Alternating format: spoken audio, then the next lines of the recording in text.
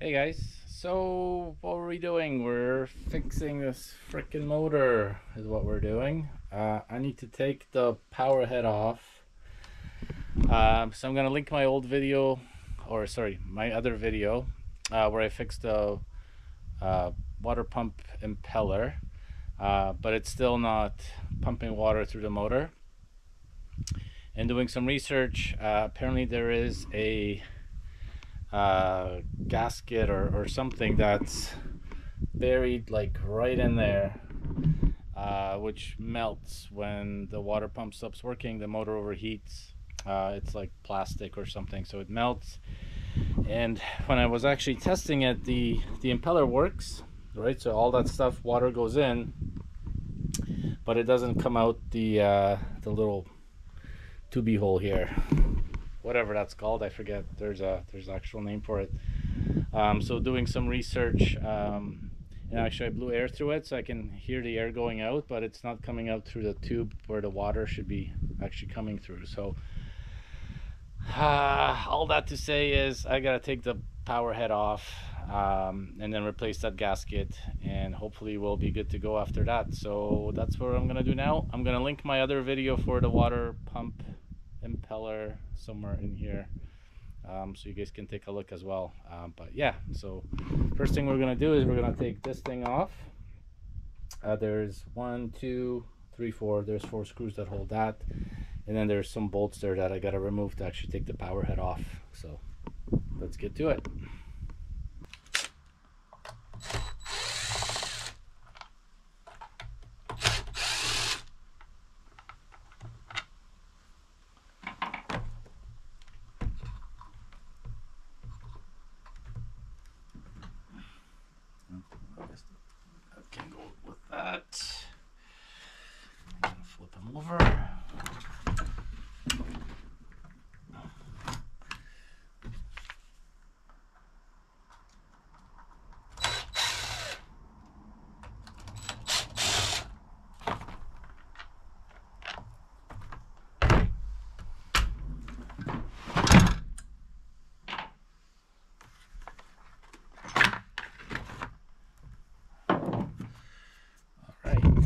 So, I think these are the actual bolts for the power head. So we will uh, we'll take those off next. All right, got the power head off. Um, there is a video that I was watching actually to kind of help me, um, and the guy did a really good job, way better than what I can do explaining. Uh, unfortunately, the motor he has doesn't have electric start, and mine does. So there's a few extra steps, uh, and I ran into. Uh, aside from that, I ran into a small little problem. Um, so I got the power head off. These are the bolts that actually hold the power head, and they screw in from down here. So there's three on each side. Um, in my case, they came off super easy and they're just like that. They're seven seven sixteenths or 11 mils. Um, the problem that I had was this screw, there is a wire that goes to the kill switch and I tried to get it off one way or another, couldn't do it. Um, and the screw is like totally stripped. You can't really, it's kind of on an angle, so maybe that's why it came off, but like it won't budge. I tried 20 different things. So I just ended up cutting the wire and I'll splice it after. Um, that's really my only option.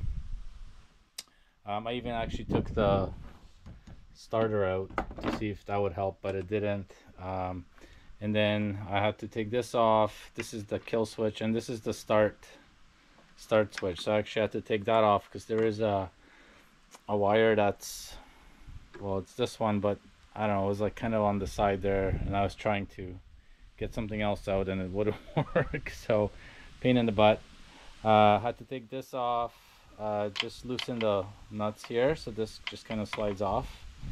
Um, and that's where that goes that's the throttle. Um, but yeah so that's the power head this is the gasket that I gotta replace. And I think this is the little thing that actually melted that's caused me all the problems.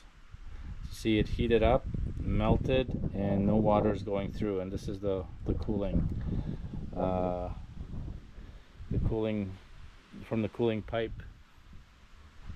Where the impeller. So so this is the copper copper tube. As you can see it goes into the shaft there. And so this thing sits in there like that and this just melted. So that's what needs to be replaced. Um, not very complicated to be honest. Uh, fairly fairly straightforward but just uh, a lot of tinkering and stuff. So kind of hoping the weather holds out because I'm out in the open here. Um, so yeah I'm gonna clean all this up. I have new gaskets for here and I have this new thing. Um, I did buy the parts. Hopefully they hopefully they fit. So this is the little kit that it came with. Um, so yeah gonna replace this put the new gasket on and then put this all back together and cross my fingers hope it works okay so that's the new gasket. I've cleaned it up best I could. Um, and we're gonna put it back together. And this is the new little gasket that goes onto the copper tube. Also this fell off and I'm not really sure where it's from. I gotta figure that out. But yeah making slow slowly but surely we're making some progress. So we're gonna put it all back together now. All right guys final stages here. Uh, just gotta put the prop or the bottom end back on. Um, took a little longer than I expected um, mostly because it pissed rain so I had to in an emergency way fashion put everything away all my tools and stuff and then wait till the rain stopped um, but yeah everything everything is in. Um, I think everything's good. Actually there's another gasket that's here. So this is where the spark plugs are and that's actually where the water goes through. So I gotta hook up that hose. Um, yeah so when I was originally troubleshooting uh, what the issue was I took that off and there's a gasket there um, it didn't look that bad but since I'm doing all this I ordered um, a gasket for that as well and replaced that. Um, getting the old gasket off was a pain in the butt. It was really really caked on there but anyways so yeah I'm gonna put this back on. Uh, not gonna videotape that. Uh, that's in my other video. It's a bit uh, it's not difficult. It's just a matter of kind of positioning it properly and sometimes what happens is uh, um, the gears don't align so you have to make sure that uh, just the, you're in the right gear. So I left it in neutral. Hopefully that's still in neutral. If not sometimes you gotta mess around with that a little bit. But anyways almost done. Uh, it's late so I won't be able to test it tonight. But I did blow air through it and it's going uh, it is going through all the way. So uh, definitely better than, than it was before. So if all goes well tomorrow I'll pop it in the water and just make sure everything works. All right. I guess end of the video will be the motor and the water. So I can show you guys that it actually works. So uh, yeah stay tuned for that.